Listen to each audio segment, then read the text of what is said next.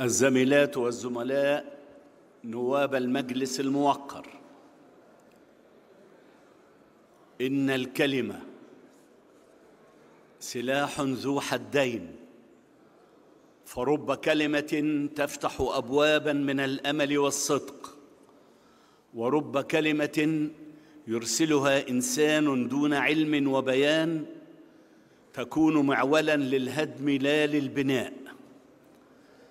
لقد تابعت عن كثب الأخبار المتداولة سواء بالوسائط الإعلامية المختلفة أو على مواقع التواصل الاجتماعي بشأن مناقشة مجلس النواب لمشروع قانون مقدم من الحكومة بتعديل بعض أحكام القانون رقم 30 لسنة 1975 بنظام هيئة قناة السويس والذي ينضوي على إنشاء صندوق تابع لهيئة قناة السويس.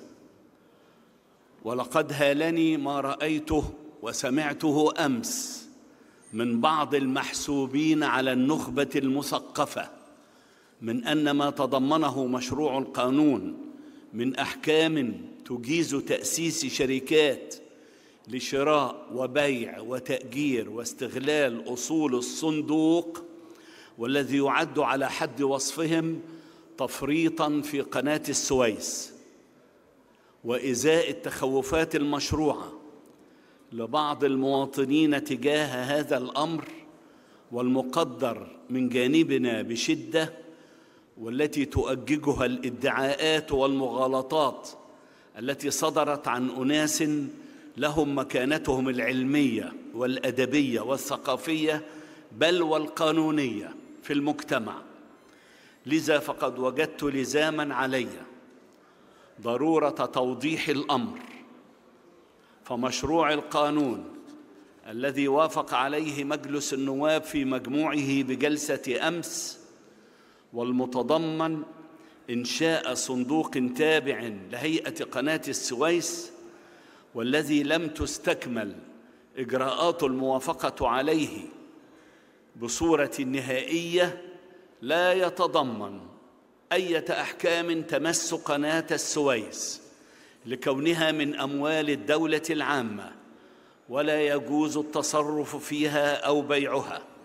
بل ويزيد على ذلك أن الدولة ملزمة وفق المادة 43 من الدستور بحمايتها وتنميتها والحفاظ عليها بصفتها ممرا مائيا دوليا مملوكا لها كما تلتزم بتنمية قطاع القناة باعتباره مركزا اقتصاديا متميزا.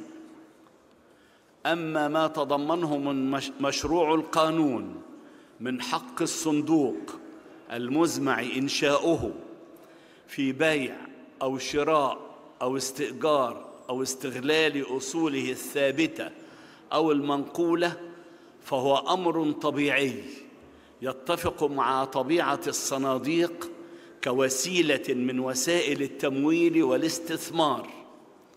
ولا يمس بشكل مباشر أو غير مباشر قناة السويس لأن لفظ الأصول لا يمكن أن ينصرف.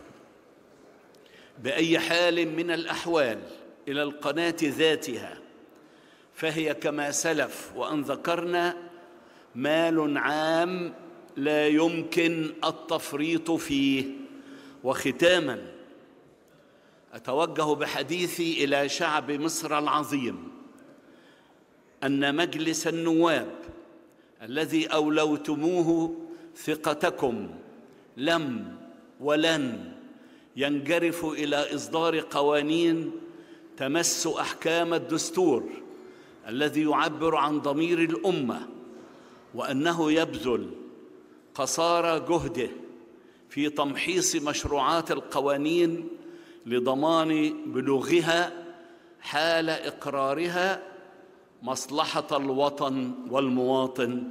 حفظ الله مصر وشعبه.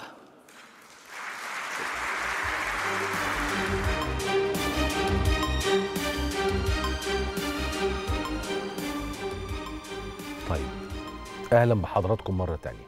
إحنا سمعنا دلوقتي كلمة الدكتور المستشار حنفي جبالي رئيس مجلس النواب المصري. وشفنا مش بس سمعنا إحنا شفنا الكلمة و آه، معالي رئيس النواب يدلي مجلس النواب يدلي بها وشفنا المجلس خد بالك بقى هنا ودي حاجة مهمة قوي المجلس من يساره لوسطه ليمينه يعني يسار المنصة المنصة بتبقى افترضنا أنا المنصة. حلو كده؟ فرض. أدي اليسار. يسار المنصة يعني معارضة. يمين المنصة يعني موالاة. أس... آه موالاة. منتصف المنصة قد يتفق وقد يختلف. خلاص كده؟ كويس قوي إن الكاميرا اللي كانت بتصور جابت يسارا وسطا يمينا. ثم يمينا وسطا يسارا والكل يصفق بحرارة بعد هذه الكلمة. يعني معارضة المنا... معارضة المجلس تتفق بالكلية مع كلمة رئيس المجلس. طيب أدي بص أدي يعني اللحظات الأخيرة أهي من كلمة رئيس المجلس. ركز بقى معايا. أول ما رئيس مجلس النواب ينهي كلمته وشوف القاعة عاملة إزاي.